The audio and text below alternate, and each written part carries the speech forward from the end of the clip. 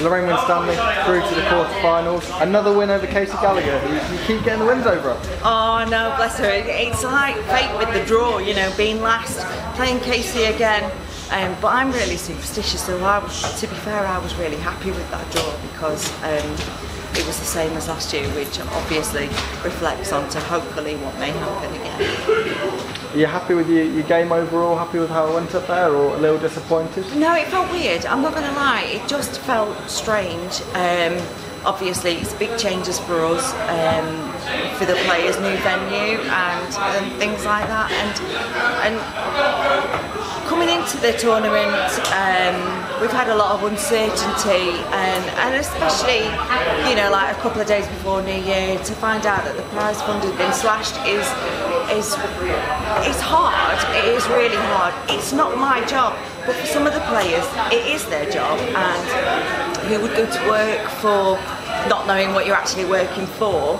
Um, I'm here for the title because um, for years I've always said it's been my ambition to be world champion. But along with the title comes comes the pennies, and when you don't know what you're playing for, it makes it very difficult. Is it does it sort of interrupt your preparation going into a tournament, knowing that obviously the prize fund is being cut quite considerably? I don't think it interrupts it, but um, you've always got that on the back of your mind, and it it doesn't fill you with enthusiasm coming into the tournament. Um, so, but like I said, at the end of the day, we're still here for a title, so you've still got to put that work in. Um, but yeah, obviously the pennies help. Looking to your next game now, obviously Lisa Ashton. That's going to be one of the headline ties for the quarterfinals, and I know the fans will be looking forward to that game. I'm hoping it's going to be a good game.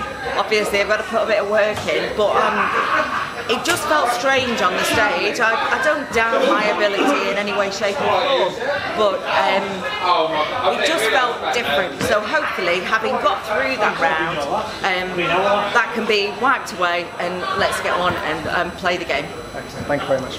Thank you.